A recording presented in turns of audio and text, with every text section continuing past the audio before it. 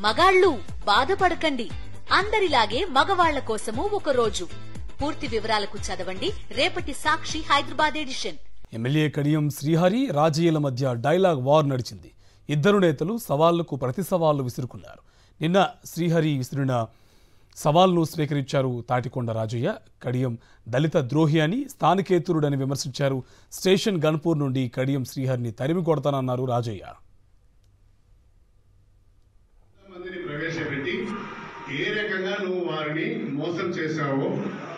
నియోజకవర్గ దళిత బిడ్డలను పేద బిడ్డలను ఏ రకంగా ఆర్థికంగా నువ్వు దెబ్బతీసావో ఆ వంద మందితో నేను ఇక్కడ పత్రికా సమావేశం పెట్టి ప్రజలకు గురించి చెప్తాను వాళ్ళు చెప్పింది విన్న తర్వాత మరి నువ్వైనా కనీసము ఇక లాభం లేదు.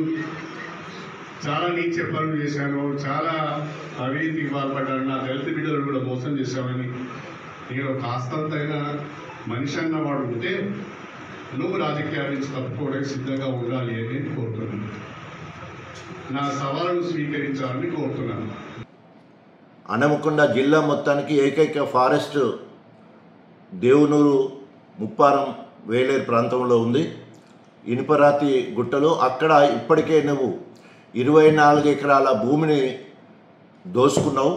మళ్ళీ ఇరవై ఐదు ఎకరాలు దోసుకోవడానికి నీ అల్లుడిని రంగంలో దించి నజీర్ మాఫియా నజీర్ మాఫియా ఇవాళ గణపురం మొత్తాన్ని కూడా అక్రమ అర్జనలకు పాల్పడుతూ ఉన్నది. అదేవిధంగా కాంట్రాక్ట్ బిల్లులు ఇప్పియడానికి వివిధ మండలాల్లో భూ కబ్జాలు చేసుకోవడానికి ప్రయత్నాలు జరుగుతూ ఉన్నాయి. ఇవన్నీ కూడా బయటపెట్టడానికి నేను సిద్ధంగా ఉన్నా.